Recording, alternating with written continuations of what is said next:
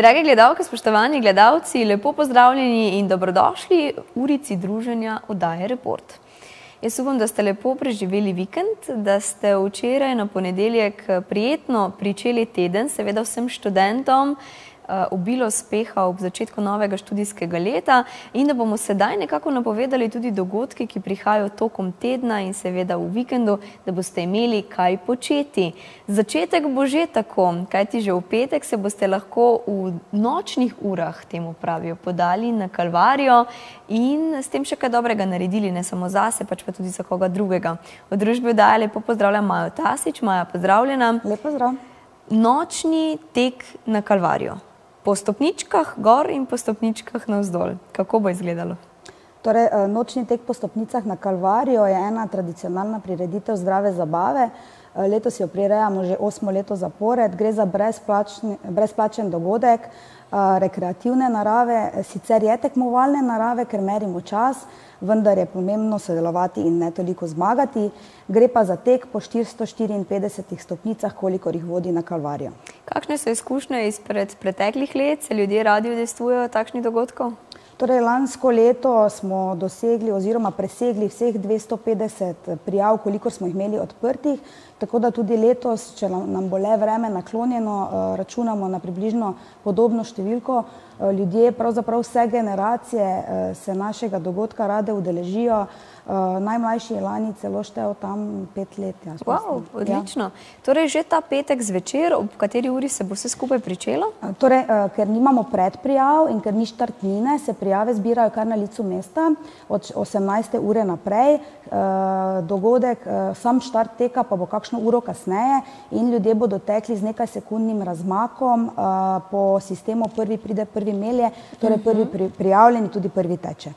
In zakaj ravno po teh stopnicah? Kalvarija in te stopnice so ne na zadnje znane za športne rekreativce, radi se pospenjamo na vrh, ampak zakaj ste zbrali ravno to lokacijo?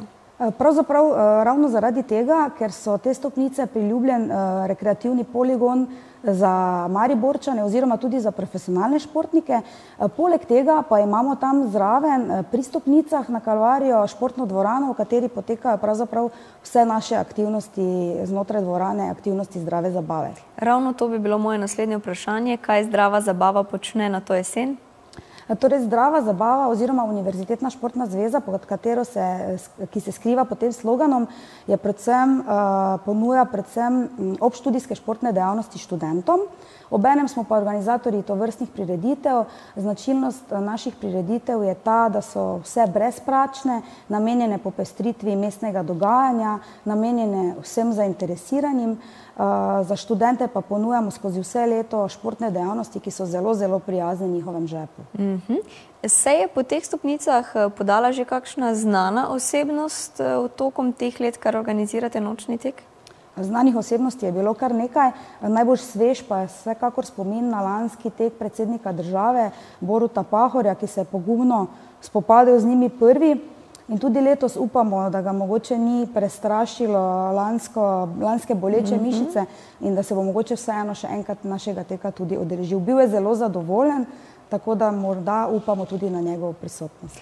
Eh, kaj pa se je zgodil v primeru slabega vremena? Za enkrat upamo na, na lepo vreme, ker nekega rezervnega datuma za dogodek nimamo, uh, tako da bomo v petek do povdne primeru odpovedi eh, javnost to tudi obvestili. -hmm. Mogoče samo še to, Maja, zakaj ravno nočni tek, zakaj ste to prireditev postavili v večerne ure?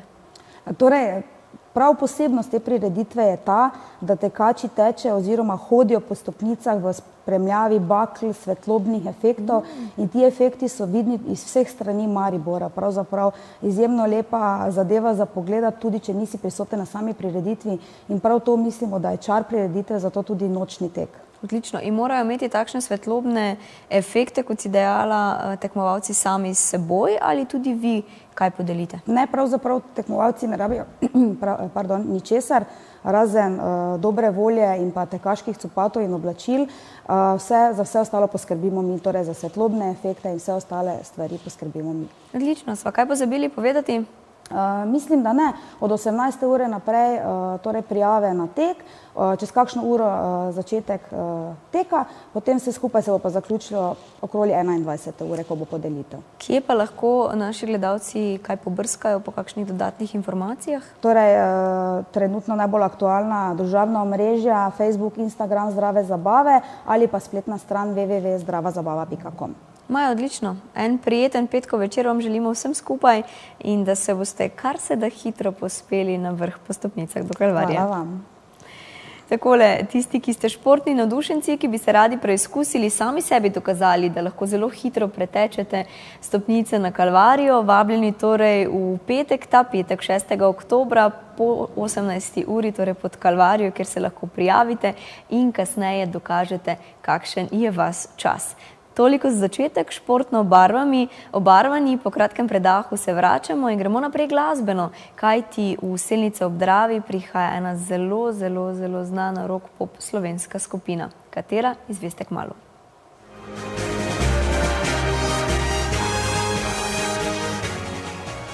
Študente smo danes že pozdravili, vse tiste, ki so seveda včeraj ali čisto na novo kot bruci pričeli študijsko leto ali pa tiste, ki seveda pridno nadaljujejo v poletnikih na vzgor študentom pa ne samo predavanja, pač pa spadajo tudi zabave. In ena takšnih uh, prijetnih družb študentov in pa mladih, bomo temu dejali, so Mladinsko društvo Baker v Siselnici ob Dravi, ki tale vikend prireja eno krasno zabavo skupaj z, sem že napovedala, zelo, zelo poznano slovensko rok skupino Tabu so to. In jaz v družbi da lepo pozdravljam Nino Homer, Nina pozdravljena. Zdravo. Zakaj ste letos povabili tabujevce? V bistvu se nekako že skupaj z klubom študentov Rusi Jelinca in pa Laurenca, ki skupaj z nami organizirajo ta dogodek, eh, držimo nekega pravila, da v začetku študijskega leta povabimo v naše domače kraje tiste skupine, predvsem bolj eh, mogoče nekako roko smerjene mhm. skupine, eh, naše slovenske in da s pomočjo teh skupin pač mladim ponudimo nekaj novega, nekaj drugačnega, glede na to, da roko na srce, pač v naših krajih teh dogodkov res primankuje. Uh mhm. -huh. Torej, tabujevci prihajajo ta vikend veselnice ob Dravi, kje se bo dogajalo, ob kateri uri, je kakšna vstopnina, vse to nas zanima.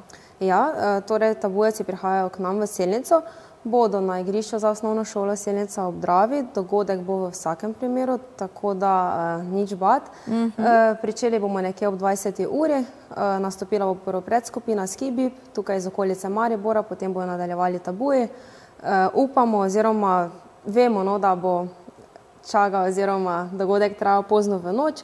Uh, vstopnine ni, uh, to je mogoče ena taka posebnost tega dogodka. Uh, enkrat letno se vseeno v našem društvu odločimo, da glede na to, da smo mladinsko društvo, delamo za mladino, smo financirani s pomočjo naše občine, da ponudimo nekaj našim članom ali pa tudi tistim simpatizerjem pač za ston. Kaj pa sicer, baker vsi počnete na tole jesen, radi tudi nabirate kakšne kostanje, gobe, se dobite in si vse skupaj pripravite? Ja, mogoče bolj tisti drugi del, glede na to, da žal vedno uh -huh. več mhm. naših članov več ni rostno mladih in da jih vedno uh mhm. -huh. več tudi hodi v neko redno službo, malo manj časa za tiste stvari, nabiranje, malo več uh -huh. pa mhm. mogoče za druženje. Za druženje. Mm, pravilno. Torej, uh, načrtujete dogodke skupaj, veliko stvari pripravljate, odestvujete se v svojem kraju, zelo veliko, tako na kulturnih področjih, kot tudi športnih področjih vas poznamo. Uh, tako da, kakšni so načrti za prihodnost, razen tega koncerta, ki prihaja že ta vikend?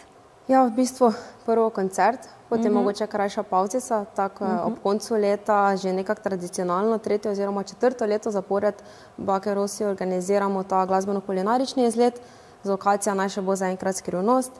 Uh, upamo, morda nam bo to leto ratalo ali pa mogoče tudi bomo ta dogodek predstavili v prihajajoče leto 2018, ta dobrodelni koncert in pa ob koncu decembra še predvožično druženje zdaj, ali se bo to zgodilo na trgu v Selnici ali pa mogoče kje druge. Boste sporočili pravočasno, Zagotovo. sicer pa kje vam lahko sledimo, beremo vaše novičke? Zdaj eh, najbolj ažurni smo na naši Facebook strani, uh -huh. tam mhm dnevno, tedensko objavljamo razne novice in pa tudi spletna stran, pa tudi stran eh, Hrama kulture Arnolda Tovornika. Tudi tam nas močno podpirajo, tako da v bistvu vse posod. Želiš še Nina kaj dodati, sva kaj spustili, pozabili? Uh, v bistvu ne, pa mogoče ja. Uh, uh -huh. Vabljeni vsi tisti, ki si želite zabave, ki si želite nekaj mogoče novega, predvsem to mislim na Seničane, ker se mi zdi, da že res vsi malo želimo, da se končno spet nekaj naše male Senice zgodi. Uh, mogoče smo malo pozabili na te glasbeno zabavne dogodke. Uh mhm. -huh. Hkrati pa bi tudi v imenu kluba študentov Ruš Selnice in pa Laurenca povabila vse nove, stare študente, dijake, da se nekje v prvi polovici meseca oktobra včlanijo um, in pa zažurajo tudi s kursom. Odlično. Nina, lepa hvala, da si prišla. Vse pozdrave tudi ostalim članom eh, Bakerosa in pa seveda se vidimo v soboto. Kako pa drugače? Hvala lepa in vse dobro. Hvala. Torej, drage gledalke, gledalci, kot ste slišali, tako tisti starejši, tako tisti mlajši, prav vsi ste vabljeni seveda v malo silnico ob Dravi, kot je dejala Nina, že to soboto 7. oktobra, kajti prihajajo eni in edini odlični tabujevci, tako da tega nikar ne zamudite. Ob 20. uri zvečer sem v šotoru, ki bo seveda na igrišču za osnovno šolo pričenja zabava s predskupino in potem vsi skupaj pričakujemo tabujevce. Ostanite v naši družbi, še se vrnemo nazaj in za vas povemo, kaj se dogaja v okviru festivala Stare Trte in kaj pravzaprav splavarjanje pomeni v mestu Maribor.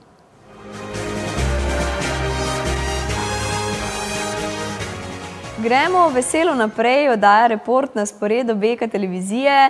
Jaz upam, da nas spremljate, da ste z nami v naši družbi, kaj ti vedno znova smo aktualni in vedno znova vam kaj zanimivega povemo. Tako smo danes že povabili na nočni tek na Kalvarijo, ki bo potekal ta petek zvečer in pa prav tako dan kasneje, ko bo veselo v selnici obdravi skupaj skupino Tabu. Sedaj pa se selimo v osnovnošolske vrste, natančneje v osnovno šolo Maksa Dorjave v Mariboru, odkuder prihaja gospod Čumer. Lepo pozdravljeni, gospod Čumer. In kjer se bo v četrtek pričel en zelo zanimiv projekt z naslovom Slovenija. Najprej nas seveda za začetek zanima, o kakšnem projektu sploh govorimo. Eh, no, najprej vas moram popraviti, začel se bo v sredo in bo trajal tri dni, se pravi sreda, četrtek in petek. Mi smo ugotovili, da naši učenci relativno slabo poznajo torej bližnjo in daljšo okolico, In smo že lansko leto naredili projekt Maribor, kjer so spoznali, se pravi, mesto, v katerem živijo. No, letos smo se pa odločili, da gremo malo širše, to se pravi, da bi učencem predstavili njihovo državo oziroma domovino, ker pač imamo tudi nekaj tujcev, ki jim Slovenija ni domovina. Ampak, torej, eh, tako smo planirali in glavni cilj je torej spoznavanje Slovenije iz vseh vidikov, se pravi ne samo geografsko, tudi politično, kulturno, naravna dediščina in tako dalje. Sej, mogoče bom kasneje naštel vse, kar bomo delali te tri dni. Torej, prvi dan. To, to nas ja. zanima, kako bo vse skupaj potekalo. Prvi dan uh, bodo po vzgojno-izobraževalnih obdobjih, ne, v osnovni šoli so tri vzgojno-izobraževalne obdobja. Prvo prvi, drugi in tretji razred, mm -hmm. pa drugo, četrti in peti in tretje, uh, šesti, sedmi, osmi in deveti. Če gremo najprej od najmlajših, ne, najmlajši bodo obiskali Ljubljano, se pravi, bodo spoznali uh, naše glavno mesto, obiskali bodo muzej, uh, šolski muzej, kjer se bodo seznanili z uh, učenjem, z uh, šolskim redom v preteklih stoletjih in za konec si bodo ogledali živalski vrt, eh, tako da bodo tudi eh, vzpostavili en odnos do živali. To je prvo vzgojno izobraževalno obdobje. Drugo vzgojno izobraževalno obdobje si bo ogledalo Saleš, Šaleško dolino, eh, se pravi Velenje, naše najmlajše mesto z okolico, eh, tudi kulturne in naravne znamenitosti, potem to Polščico, ker je eh, se končala druga svetovna vojna, eh, ker je bil podpisan delni, delno premirje ne, uh mhm. eh, -huh. in bodo na delovnih listih reševali določene naloge.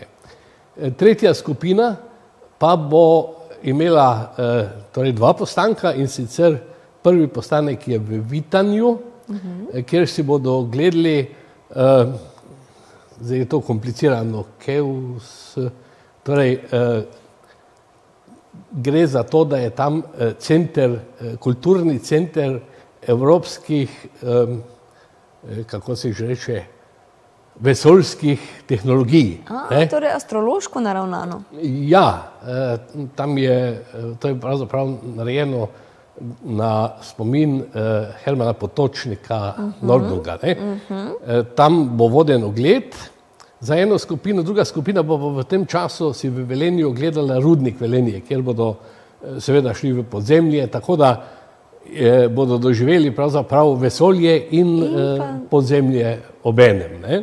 No in to je prvi dan.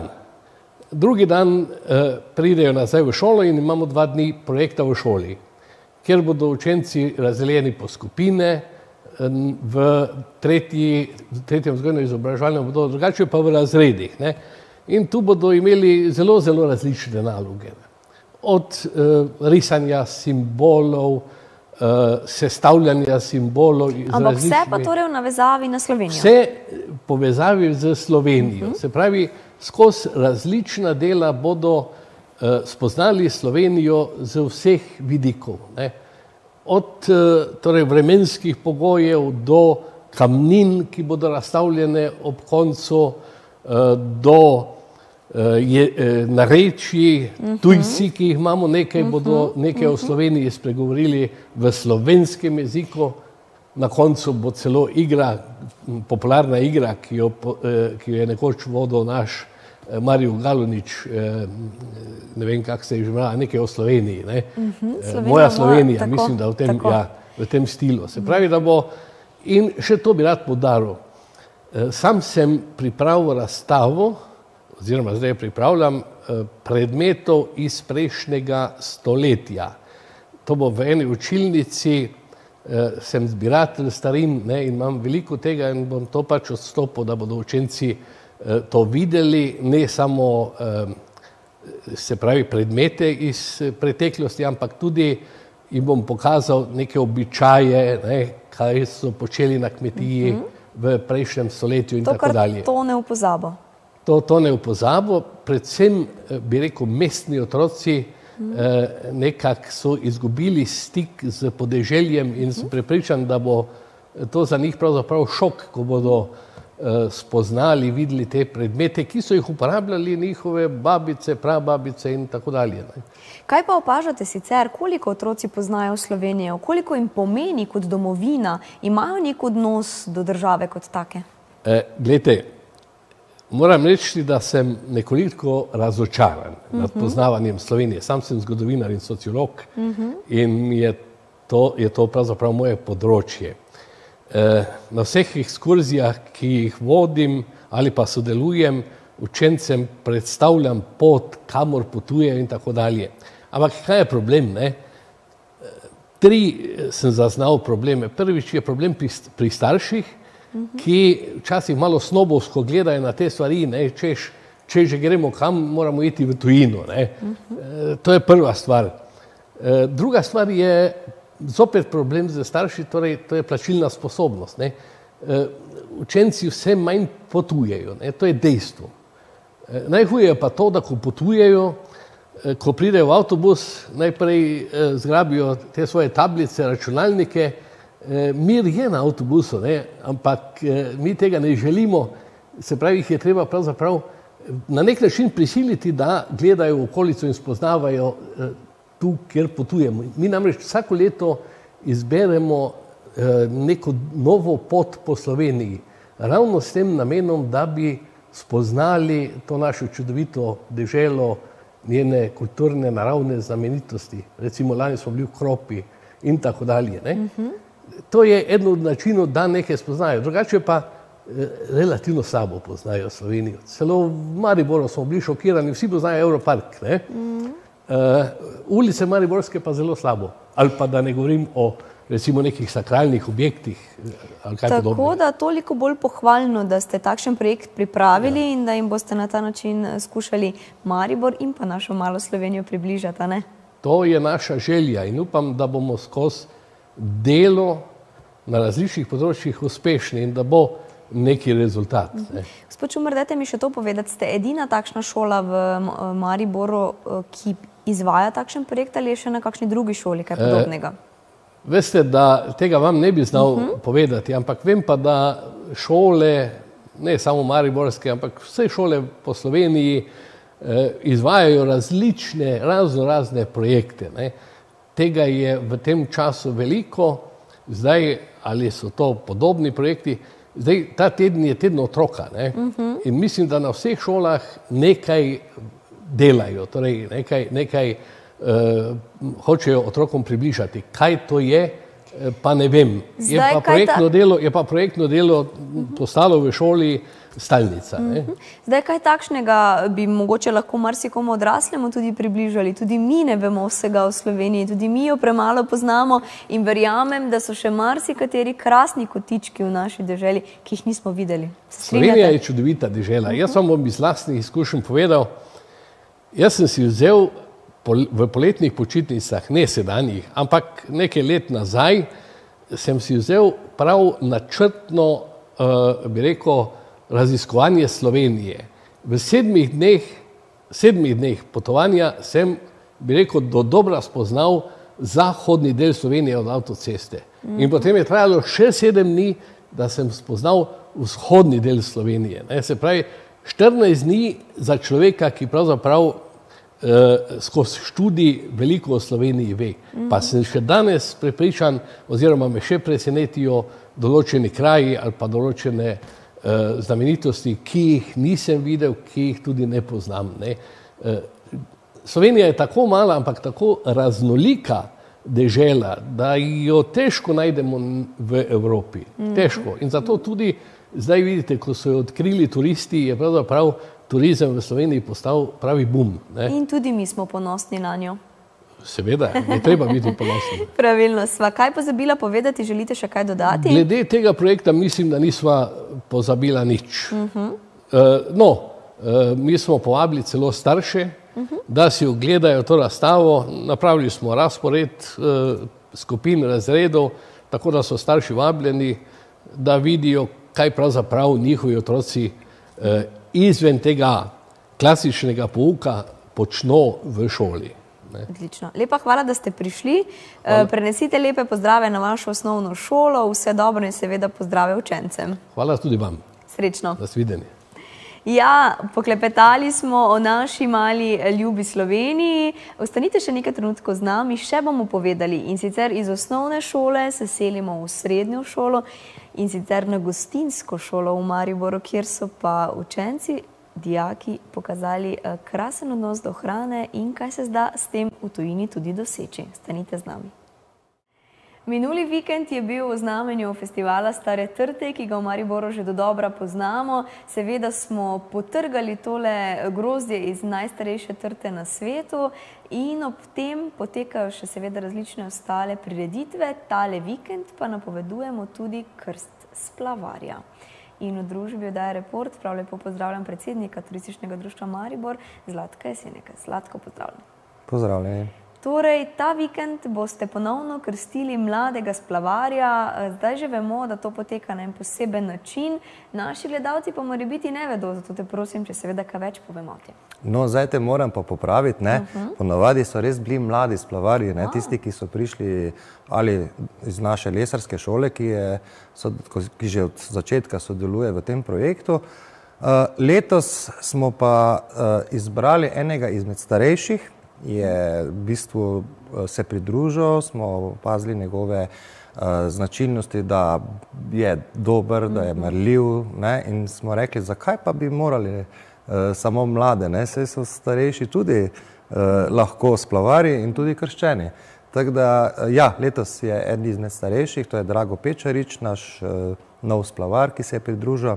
Uh, in uh, seveda ta splavarski krst, ki je kot prireditev uh, moram reči, že ena najstarejših v Mariboru, 33. po vrsti, uh -huh. na Lentu, eh, ki bo to soboto, bo seveda v znamenju eh, tega gospoda in pa vsega, kar zraven tudi spada. Tematika letos, če se lahko kar navežem, je pa kulinarika. Vsako leto imamo nekaj posebnega, kakšne veščine ne? in letos smo se odločili za kulinariko, torej bo moral znati skuhati močnik, ne, tako kot je to so včasih počeli. Tako, tako. Uh, zdaj naročili smo mu, da mora kako jabolčno pito tudi zraven prinesti, uh, da vidimo, če to tudi zna. Uh, sicer pa torej, uh, bo pestro, kar se tega tiče, pričakujemo tudi nekaj gostov, uh, s katerimi sodelujemo tako ali drugače. Tu predvsem velja omeniti kulturno-umetniško društvo Hotinja Vas, ki se nekako priključuje za svojimi uh, bom rekel, nošami oziroma starimi oblačili eh, pri nas. In pa letos imamo tudi eh, posebne goste, to je društvo, ki se ukvarja z nekako ohranjanjem ribolova, eh, starega ribolova, z starimi oblačili in oni bodo tudi priključeni, ker to nekako spada zraven kar se tiče kulinarike, recimo, ne, če bomo kakšno ribo ujeli po potu. Ja, da boste lahko spekli. Sicer pa zlatko tradicija splavarjanja je precej zakorenjena v mesto Maribor. Uh, vemo, da tudi uh, potujete s splavom, ki ste ga odlično naredili, vse od Koblarevega zaliva do Lenta, da tokom sezone prevozite različne goste, tako iz Slovenije, kot seveda tudi iz Stojine. Kako ste obudili tole tradicijo nazaj in jo povrnili v Maribor kot mesto tako? Moram reči, da takrat eh, še jaz eh, nisem bil priključen, sem pa že dosti let zraven, to že bo, mislim, da okrog 25. Uh, eh, tako da, uh, kako se je vse skupaj začelo, tukaj velja omeniti gospoda Ivana Verbotna Vanča, starega slovarja, ki je uh, imel željo, da pokaže, um, bom rekel, občanom, ljudem, mariborčanom, kako se to dela, kako je on to podoživljal. On je imel les, lepe spomine na to, on je tudi s tem živel, eh, je bil entuzijast. In um, ta splav, ki je bil prvič narejen v Koblarjem zalivu leta 1985, je um, takrat, uh, ko so se pripeljali na Lend, uh, povzročil res veliko zanimanje. Uh, cirka 3000 eh, ljudi, turistov je prišlo takrat si to pogledati in tako je to nekako eh, bil en res velik dogodek. Ko so začeli razmišljati o tem, da bi to veljalo ponoviti, seveda se je to nekako spontano začelo dogajati z enega leta v drugo in tako naprej. Kasneje je nastajal še folk art in pa festival Lenz skozi to, nekako skupaj smo to počeli, tudi v času festivala Lend smo mi potem takrat tudi bili prisotni na reki. No in um, pozneje smo pa začeli razmišljati, da bi bilo pa fajn, ker se stroškov tiče in tudi nasploh, da bi ta splav lahko več dni plul, ne, ker takrat je bil namenjen samo za en dan, seveda to je stroškovno gledano kar velik zalogaj. No in uh, takrat so, smo Takrat sem se že tudi jaz priključil preko lesarske šole, ker sem zaposlen, ker so prišli k nam, da bi mladi kadri pomagali uh, graditi. In uh, smo pogruntali, da se pa da ta splav tudi potisniti nazaj proti toku v Koblarjev zaliv in od takrat dalje je potem to steklo. Ne? Se pravi prvo za festival in potem pa kasneje za celo sezono. Moram reči, kar je zdaj najbolj pomembno v tej zgodbi, da smo prav tukaj v Mariboru, zdaj če omenjam splavarjenje, recimo, ki je v Sloveniji poznano, moramo seveda omeniti Ljubno Psavini, ki ima uh, bolj bogato tradicijo od nas, tudi dalj časa, ampak uh, ohranja ta flosarski bal, to sem hotel povedati. Ampak kar se pa tiče nasplošno tega splavarskega turizma, ki je nas, kasneje nastajal na reki Dravi, pa potem tudi recimo uh, na uh, Savi ne, in, uh, in tudi v Novem mestu in podobno, smo bili pravzaprav pionirje, kar se tega tiče.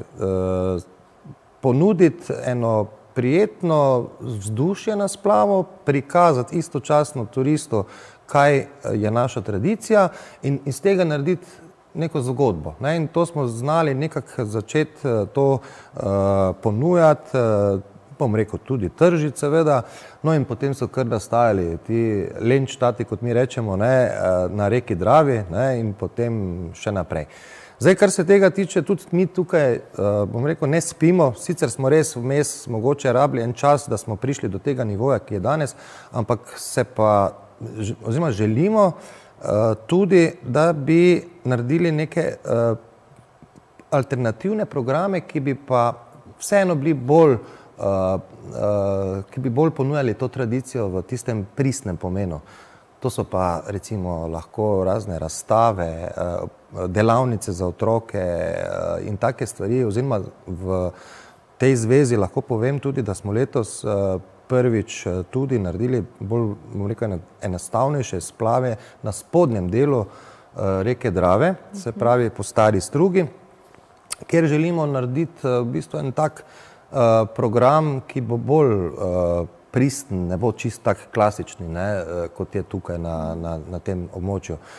Tako da ja, se Vaše vožnje so zelo zanimive. Sam si zdaj zaključil z besedico ponujamo, torej vzdušje je tisto ta pravo, z dobro glasbo, s prijetno kulinariko. Um, tradicijo imate tudi, kar se tiče kostumov, oblačil, nož. Letos ste celo poročili par Točno. na splavu, tako ja. da se trudite in je vsekakor zanimivo splav obiskati. Mene pa tukaj zanima slednje, kako lahko naš gledalec obišče vaš splav in se s tem zapelje tudi vse od Koblera do Lenta. Že kar nekaj časa smo razmišljali, kako narediti čim bolj dostopno občanom in vsem tistim, ki so posamezniki, uh -huh. ki se želijo priključiti. Ne? Namreč večinoma delamo z agencijami, z velikimi skupinami, ampak seveda ne pozabljamo na posameznike. Uh, Mar si kdo včasih reče, ja pa zakaj nimate enega termina, ne, pa bi pač takrat to bilo, vendar žal ni tako enostavno, ker nikoli pač ne dobimo pravega feedbacka, koliko jih bo prišlo, moramo pa vedeti, da je naša ekipa velika in bi to bilo seveda finančno neizvedljivo. Ne? Uh, tako da smo mi zdaj začeli uh, tako, da smo uh, naredili rezervacije spletne na internetni strani, se pravi vsak, ki se hoče priključiti, utipka splavarjenje Maribor ne? in se naša spletna stran odpre, tam napiše mail, s tem rezervira s, uh, vožnjo, mi mu odgovorimo in je zadeva zaključena. Odlično, tako da zdaj bo zagotovo Hvala Bogu, ne? Tistih, internet. Ja. ja, danes nas eh, ta tehnologija rešuje. Zlatko, preden se posloviva, na splavo lahko seveda obiskovalci vse več izvedo tako o zgodovini in, in um, občutijo, kaj pomeni potovati po Dravi. Uh, preden se pa posloviva, pa daj vam midva samo še povabiti na tale krst, kdaj se bo prireditev uh, na Lento pričela in kdo je seveda vabljen. Splavarski krst se bo začel v soboto 7. oktobra ob 17. uri. Uh, vabljeni pa vsi, ki si želijo ogledati ta naš tradicionalni dogodek. A bomo krščence vrgli v Dravo?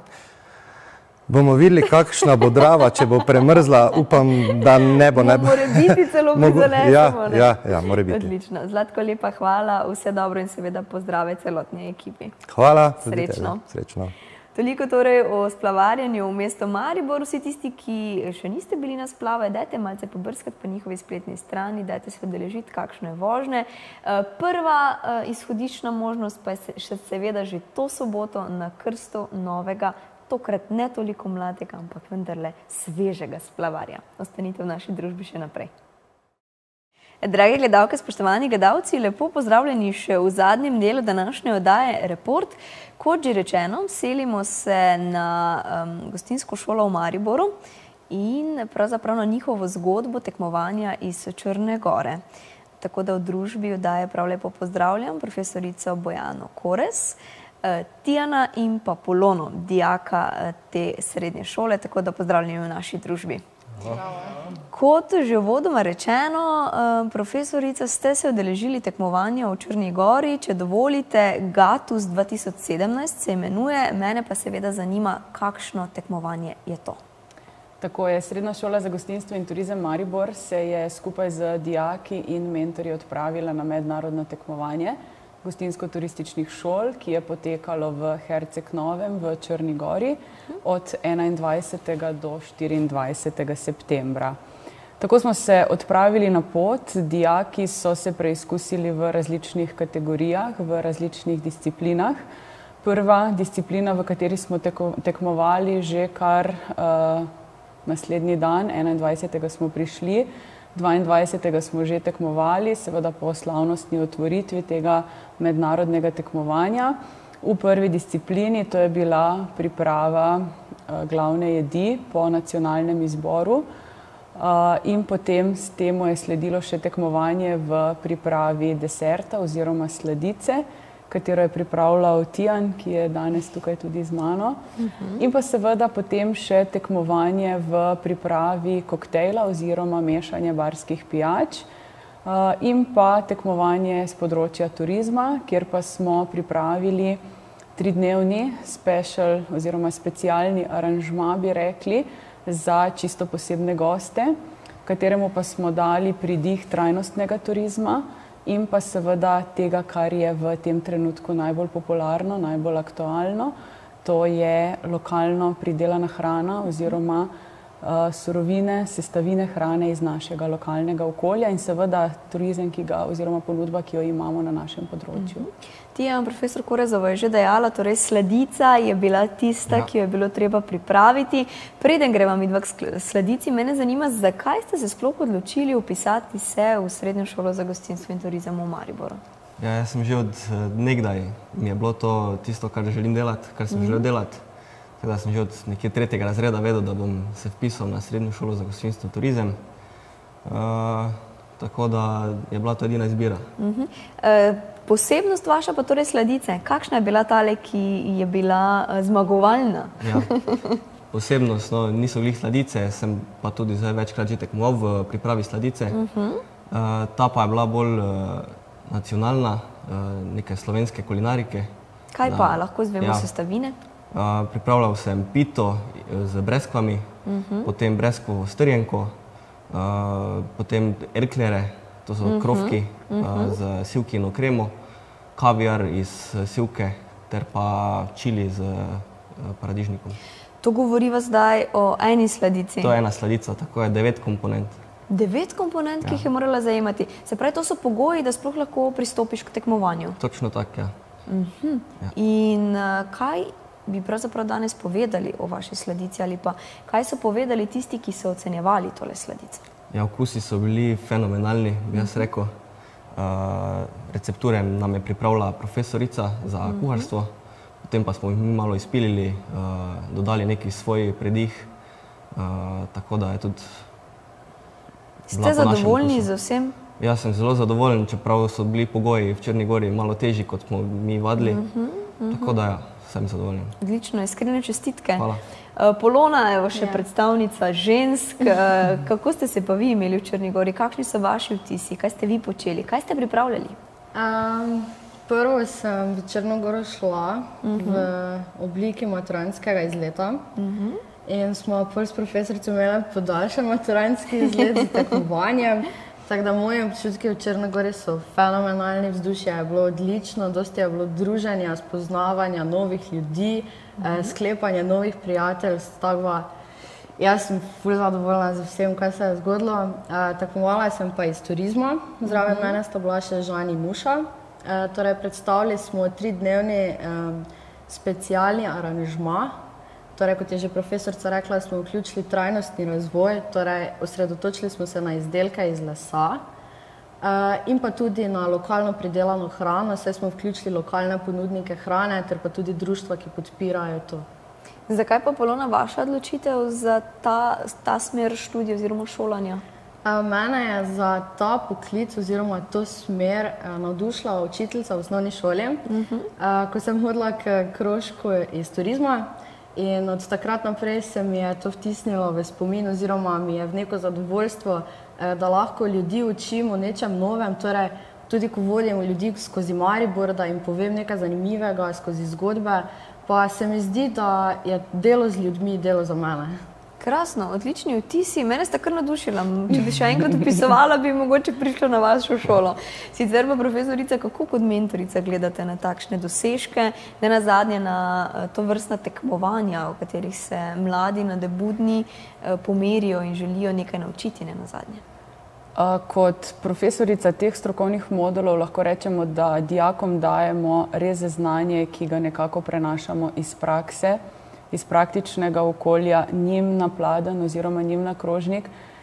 In potem lahko trdim, da vsak vzame nekaj tisto, kar želi, ampak v večini vzamejo ogromno in tako se potem najdejo ekipe, katere mentori nekako prepoznamo, da jih lahko usmerimo na stopničko više, da jim damo drugačne izkušnje, da jih peljemo na tekmovanja kjer pa ni samo to, da se tekmuje, ampak da se druži.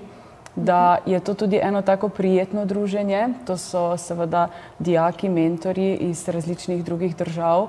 To so tiste neprecenljive izkušnje, ko te spremlja nekdo drug, ko te ocenjuje nekdo drug, ko nisi v šolskem okolju, ko si v uh, okolju, ki ga pač prireditelj ustvari. Uh, kaj ti tekmovanja so potekala na različnih koncih, to ni bilo samo hotelsko uh, območje, ampak je bilo to izven hotela, recimo uh, ta mestna kavarna bi rekli uh, v Herceg Novem, kjer je bilo resnično eno tako, ne samo vzdušje, ne samo ambient, vse je nekako bilo komponirano v tisto noto zadovoljstva. Uh, ni bilo vidnega tistega, da bi bil res tisti samo tekmovalni duh, ampak naučiti se nekaj novega, kajti tudi dijaki, ki so spremljali tekmovanja, so spremljali to z enim zanimanjem, kaj bodo drugi pripravili, kaj lahko se mi od drugih naučimo, pravzaprav res tisti praktični zorni kot. In a, tako a, mentor, ki je bil z področja strežbe, gospod Boris Korošec in pa z področja kuharstva, gospod Sebastian Žitnik, sta menim, da enakega mnenja, tako da a, kar se tiče same izvedbe tekmovanja in pa potem seveda druženja in splošnega vtisa je bilo resnično nam v eno veliko zadovoljstvo.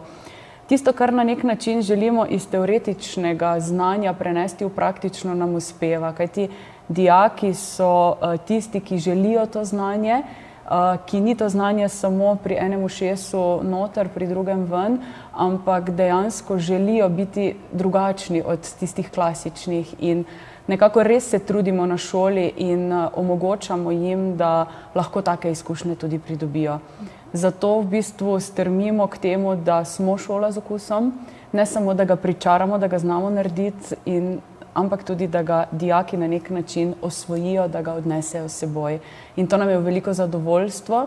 Zato tudi tekmovanje, na katerem smo prejeli eh, zahvalnico oziroma plaketo kot generalni zmagovalec v skupnem seštevku, in pa seveda zahvalo, da smo se udeležili tega mednarodnega tekmovanja, nam pomeni veliko in trudimo se skupaj z dijaki, da bo tega še več. Pravzaprav mentori kot taki smo zelo veseli, da lahko z dijaki delamo, ustvarjamo, se veselimo in delimo izkušnje. Ne? Mene zanima, če seveda, kaj vama sedaj pomeni ta nagrada vsem vajinim kolegom, sošolcem, ki ste jo skupaj dosegli. Kaj vam to danes pomeni? Mislim, nam to pomeni fullosti, da smo za šolo naredili nekaj dobrega, mm -hmm. da smo pokazali, da smo iz pravega testa, mm -hmm. da tudi lahko zmagamo. Pa definitivno neki spomini, ki bodo ostali, da se nas bodo tudi profesori še čez par let spomnili, potem, da smo prinesli toliko zlata spet nazaj ja. na naše šole. Jaz verjamem, da se bomo tako odlični dijako spominjali tudi ostali, ne samo profesorja. Ne? Mogoče samo glede na to, da ste dost mlada in da boste nekako živela v tem in skušala spreminjati svet, kot mladi želijo. Kaj bi vid vas spremenila v prehrani dan današnje mladine? Vseh tistih, ki živijo od eh, hitre hrane, eh, vemo, kakšen vzorec eh, prehranjevanja se pojavlja in kaj bi mogoče vidva spremenila v tej smeri, da bi bilo bolje? Ja, sigurno več domačih pridelkov. Hmm. Uh, vsak bi si mogel sam pridelovati, naprimer. Je tudi potem boljše, mislim, boljše uporabiti to uh -huh. v mhm. kuhinji, uh mhm. -huh. ima neko zgodbo za sabo, kot pa tisto, uh -huh. ko ga bolj ceniš. Ne? Ja, bolj ceniš. Uh, moj predlog bi bil tudi, da bi lahko naprimer, šole imele kakšne svoje vrtove, kjer bi se predelovali lastni pridelki, no, pa pri vzgoji teh bi pomagali tudi dijaki ali pa učenci. Um, tako pa tako kot je Tjan rekel, Tjan, uh mhm. -huh. da bi se poznala zgodovina ja. hrane. Uh mhm. -huh. Ste ponosni na vaše dijake, ne? Absolutno. Da modrujejo in da kdaj ja. presežejo vaše pričakovanja.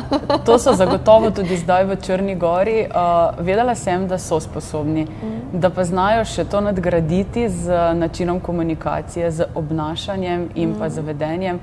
Pa so nas presenetili pozitivno, resnično. Odlično. Ponosni smo na njih. Uh, pravijo, da morajo dijaki preseči profesorja, tako da pomeni, da dobro delo upravljate in jaz vam želim, Eh, da to delo upravljate še naprej, predvsem za srcem in seveda iskrene čestitke ob vseh teh kolajnah, ki so tukaj na misiji. Hvala. Lepa hvala, da ste prišli, vse dobro in tudi v bodoče. In pa je nič, Tijan, tako da poskusimo tole skletico. Ja. Sigurno. Srečno. Srečno. Takole, dragi moji, eh, s tem zaključujemo današnjo oddajo Report. Upam, da ste uživali v naši družbi. Hvala lepa, da ste nas spremljali. Spremljajte tudi ponovitve tokom tedna. Se veste, prihodnji teden, v torek ob 17.30 pa ponovno prihajamo sveži, da vas popeljemo v nov teden, v nov vikend in vas ponovno kam povabimo. Do takrat pa imejte se lepo, smejte se in imejte se radi, pa srečno.